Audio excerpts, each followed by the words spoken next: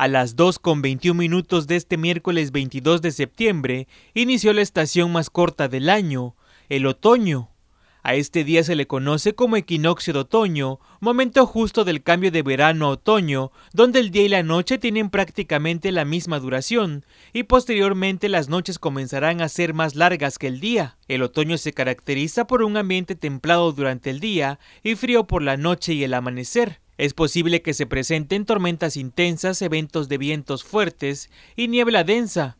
Durante esa temporada continúa la actividad ciclónica, además de que se presentan los primeros frentes fríos. El otoño también influye en nuestro estado de ánimo. Durante este periodo o este tipo de trastorno estacional, se reduce la producción de serotonina, que es el neurotransmisor que eh, está encargado de regular la ansiedad, la felicidad y nuestro estado de ánimo y a su vez aumenta la melatonina. La melatonina es la hormona encargada de regular el sueño. Entonces, por lo tanto, pues evidentemente eh, llegamos a tener los periodos depresivos. Una característica es que durante estos días aparecen las lunas llenas más bellas del año, por su intensa luz. La estación es sinónimo de bosques rojizos, ya que las hojas de los árboles comienzan a caerse, tornando todo en tonos amarillos, anaranjados y marrones. Debido a los cambios de temperatura, que durante las mañanas hace frío y calor en las tardes,